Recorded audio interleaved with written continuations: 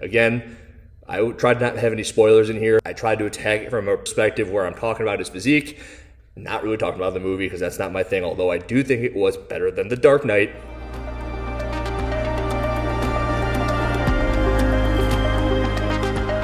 Yo, now I'm not a movie critic. But I saw The Batman yesterday, and while I think it was a great movie, that doesn't matter because I'm not a movie critic. What I do is I do fitness things, and I, you know, this, this sort of thing. And I've got company that has individuals who come in, they want to work out, they want to look to be the best version of themselves. So when I'm watching a movie like The Batman, I'm thinking, how does Robert Pattinson look? How is he portraying himself? What is going to do to the audience who are looking at him and saying, hey, he looks good, bad, whatever? I'm going to give my opinion on that. What does Robert Pattinson look like? Does he look good, bad, whatever?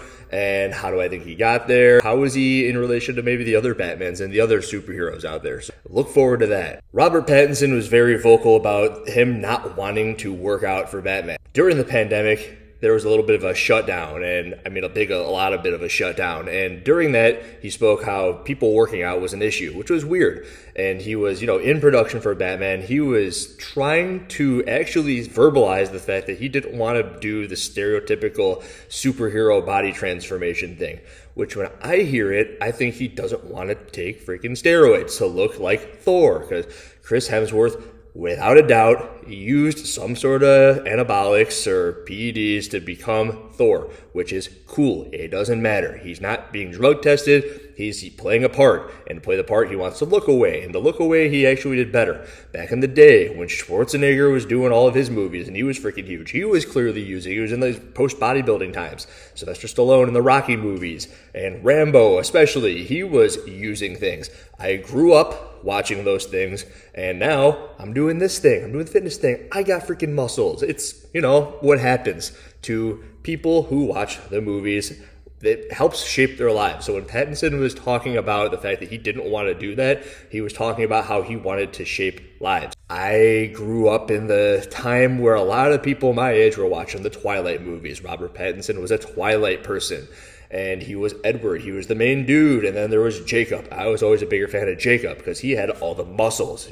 You know, Edward did grow on me though, but you know why Edward grew on me? Because he was a little bit more personable. I rewatched the entire series as a 28, 29 year old, and when I watched it, I was like, you know, Jacob, he doesn't really have much going for him. I mean, yeah, he's fucking jacked, but when you look at Robert Pattinson, you're like, you know, he's he's in good shape. He's thin. He looks like he takes care of himself. But what he did was he was very personable.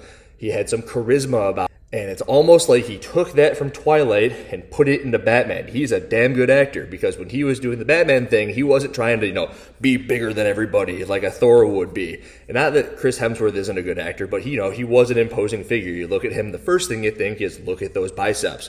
When you look at Pattinson, the first thing you think isn't look at those biceps. Maybe you think, you know, he's damn good looking. And then the second thing you think is, wow, kind of afraid of him. But why am I afraid of him? I'm afraid of him because of the way that he is just portraying himself as Batman. It's like he's standing there and you just feel like a presence. You're like, oh God, I gotta get away from this freaking guy. That's anything to do with his physique but it is just to do with his presence and his portrayal and his acting and his charisma. And unlike in Jacob and Twilight, where you look at him and that's all he's got going for him, he's got a lot more going for him. Now, how does he look?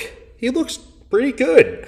He didn't use steroids. You can tell. I can tell at least. I don't know if you can tell. Maybe some people will say that he was, but those people don't know what they're talking about. Robert Pattinson is a natural guy. He's 35, and that's way beyond expectable for somebody who's that age, who's going to be in a movie seen by millions of people, and he's a superstar. It's all he's got to do. He's got to look the part with what I do, I know plenty of 35 year olds who look way better than Robert Pattinson does. You know, that's just kind of their thing. They, they take a lot of care, of care of themselves. They like working out. Robert Pattinson has spoken about how he does not like working out. He doesn't want to do it.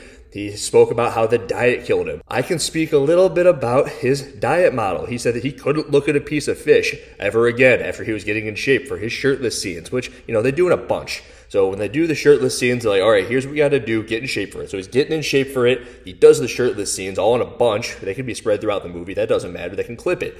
And then he gets out of shape, quote unquote, again, because he doesn't have to have his shirt off anymore. He said that for this part, he was, you know, water depleting, and all he would do was eat fish up until that point. All he would do was he would cut out all the, you know, seasonings and salts and fats, and he was just eating basically white fish that was boiled and little bits of rice. He was also tracking his water down to the littlest bit of water. What I hear here is that he should have done a little bit more working out so that if he is at 12 to 13% body fat, which it looks like he is, he could have brought that down to 10 and then he could have enjoyed some seasonings. He could have eaten a little bit better and he could have drank some water. What he did was a water depletion. He did it to look a certain way on the screen. Bodybuilders do it and it's super dangerous to actually do it that way. I believe it would actually be safer for him to take some steroids than to do the water depletion and all the unhealthy sort of bodybuilding prep show stuff. That's what kills the bodybuilders, the diuretics and the water fluctuations in your body. Does it work? It worked for, uh, what's his name? Henry Cavill in The Witcher. So he did that scene where he's sitting in the bathtub like this in The Witcher and his arms are all jacked. He said that he did a water depletion for that. Now he has a little bit more muscle, so he looks a little bit more bulky and jacked when he's sitting in that bathtub than Pattinson does. Now, Pattinson did have like a scene where his traps are popping out, and some people are going to look at it and go, wow, he's got a lot of muscle. But coming from my world, he doesn't have that much muscle. And that's okay because he was doing the things for the younger generation so that people don't grow up and be thinking that muscle's the coolest thing ever. I like heavy muscle. I like to look a certain way. And I can thank my former idols, maybe current idols, the Schwarzeneggers and uh, Stallones of the world and their roles. But I remember back in the day, you would see all the things on the internet about how Edward Cullen had this entire wheat generation of males grow up and they're no longer lifting weights and they're not manly anymore. Fucking stupid, dude. It's fucking stupid. Like, the manliness isn't about having muscle, it's about interacting with people, letting people like you, having a little bit of charisma, and being confident in yourself, right? If anything, the Batman, what I learned was I think it's super cool that he wasn't stupid jacked. And he didn't put all this time into being stupid jacked. And you're probably going to see the things on the internet talking about how Robert Pattinson got in killer shape to be the Batman. And it's like, well, he didn't. You didn't do any of your homework. I did some homework and I learned that he didn't do really much to get in shape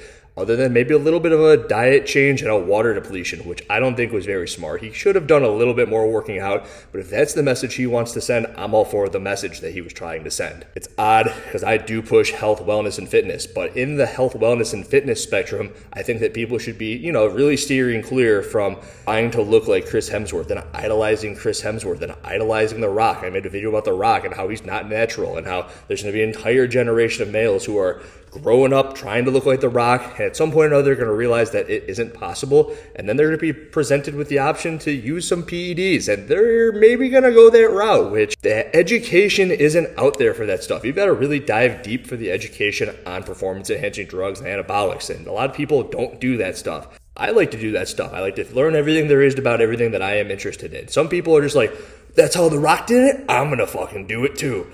Robert Pattinson probably has a little bit of education on that. He looks at himself and says, Hey, I want to live to be 80, 90 years old. He doesn't want to go down that route. He doesn't think that it's important to him. He doesn't want to spread that message.